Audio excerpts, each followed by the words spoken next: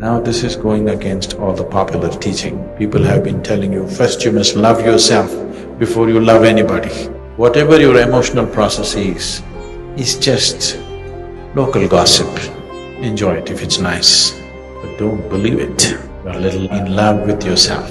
You are heading towards schizophrenic condition. Sadhguru, I have tasted many times something of the beyond, but still I get stuck in many small petty issues. How do I overcome this and always maintain equilibrium?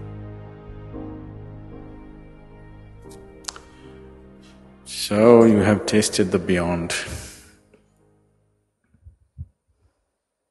But now petty things still entangle you. So,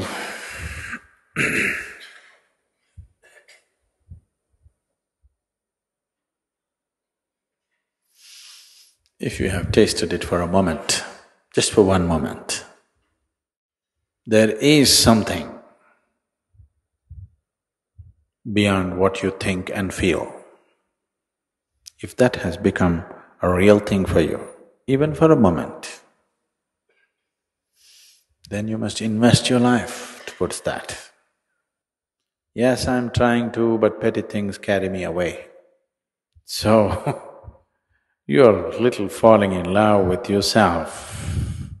That is why, though, even though the taste of the beyond is somewhere on your tongue, you still can get entangled because you're little becoming inflated personality. You're little lo in love with yourself. Is that wrong? Nothing wrong. It's just called madness. Because love is an effort, love is a longing to include something as a part of yourself. Love is a process. Love is a possibility where you… you could become larger than who you are. You could become more than what you are by inclusion. Now, if you wallow in your own self-love, now this is going against all the popular teaching. People have been telling you, first you must love yourself before you love anybody. If you cannot love yourself, how can you love anybody?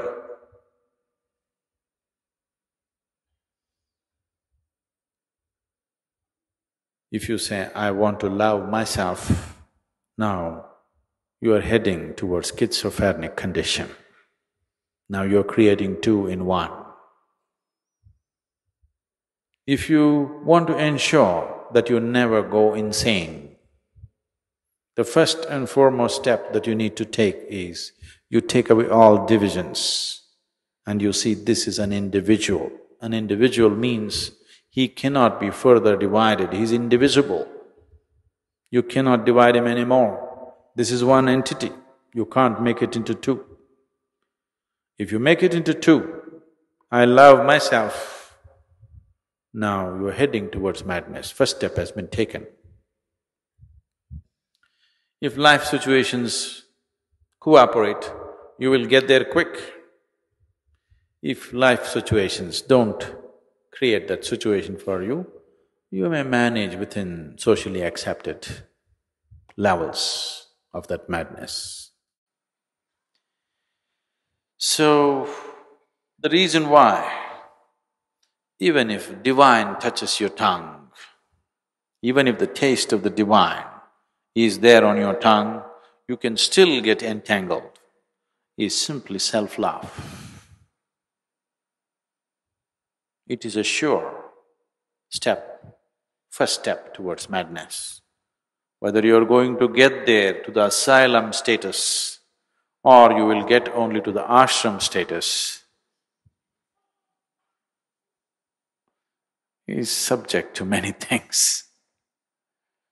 But This happened to a man. He wanted to enroll himself in a college. So he saw a big building and walked in. There they had registration forms, he filled up everything. He signed, and when he went to the official to give it, to be enrolled in the college, the official said, but this is not a college, this is an asylum. Then the man said, but no, I wanted to join a college. But the official said, no, this is an asylum. Then the man thought, but I have already filled my registration form. So what difference, I will join up.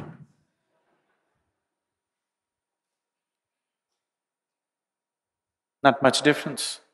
I will join the asylum. What's the big difference? The official agreed, yes, not much difference, but there is one difference. What is it? Here, unless you show improvement, we won't let you get out.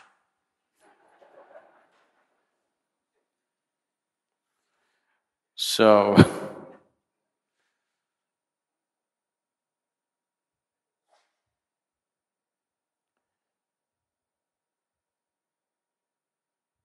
Ashram is just a Sanskrit word.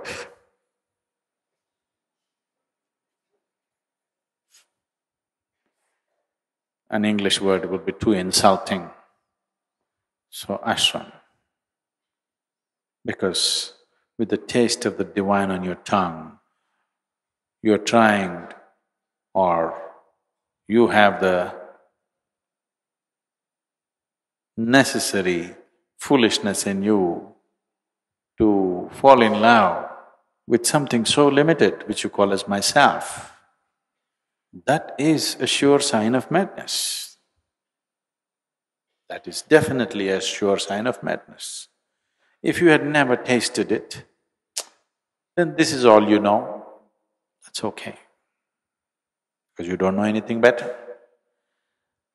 And the taste of the divine is still lingering and you're getting entangled with something so limited as your personality, that is definitely a sign of madness, there is no question about it. You're in such a state of madness, you're doomed. Even an astrologer will charge you half price. Because when your destiny is so doomed, there's nothing much to predict, you know, it's easy, really. It's very easy. But uh, all this talk, don't get depressed.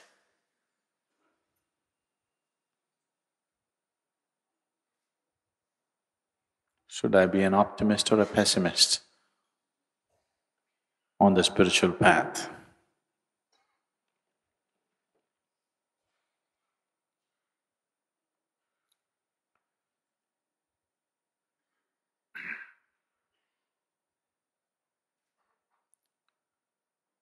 An optimist, a pessimist,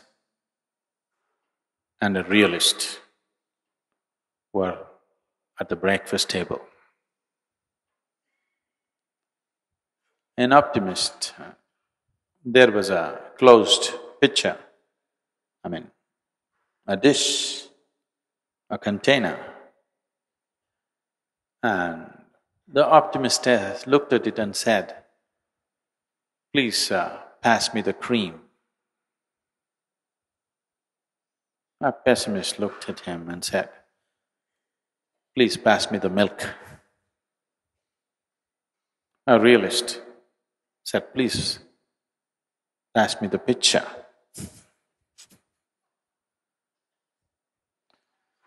So, if you're an optimist, you will be misled. If you're a pessimist, you'll be misled. So when you're down, I up you, when you're up, I down you, because I want you to be a realist. Only one who is in contact with reality will grow. Others, optimists will hallucinate, pessimists will get depressed. Both will not get anywhere. You have to be a realist. You are willing to see everything the way it is. No hype, no depression. You're just where it is. Most important. It's extremely important. So when I see you in a high, I put cold water on you. When you see you're low, I set fire to you. Don't think I'm playing with you. I'm just trying to bring you down to reality. If you go off this way, you're going away. If you go this way, you're going away. We need you in reality. Only in reality you grow. Growth is possible only in reality. It's the existential which can transcend. The psychological, whatever it does, transcendence is also empty. Transcendence is also… transcendence is also false in the psychological. There is no such thing as transcendence in the psych psychological sphere of your life. Transcendence has to be existential because it is in the existential that your process of… essential process of life is rooted in. What is happening in your mind, your thought and your emotion are psychological. They are just a small offshoot of life, it's not life. Right now, it may be keeping you fully engaged. Your thought and your emotion may be keeping you fully engaged right now, but it is just a small offshoot of life. It is not life. You can think what you want. Even if you're fast asleep, you're still life. In fact, you're more life when there is no psychological activity. If you have known a few moments of what you call as beyond, those were few moments where you were free from the psychological. Those few moments of freedom from the psychological, you are more present than ever.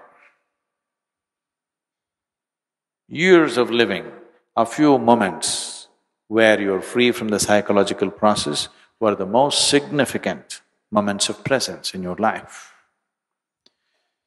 So, that little taste that you have known, you must invest your life in that direction, not what your thoughts say, not what your emotions say. Your emotions and thoughts can say whatever they want. They will say one thing today, tomorrow morning they'll change their opinion. They're just like the local gossip. It keeps shifting it keeps shifting what people are talking about today and what they're talking about tomorrow. Similarly in your mind, whatever your thought process is, whatever your emotional process is, is just local gossip, very localized to you. Enjoy it if it's nice, but don't believe it. If you like the gossip, you enjoy it. Gossip is for entertainment. You don't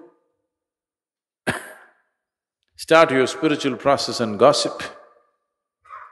You don't start anything that really matters and gossip. If the taste of the divine has come to you, then you will see entertainment doesn't mean anything. Suddenly entertainment doesn't mean anything at all to you because all entertainment looks too stale and ridiculous for one who has tasted the real thing.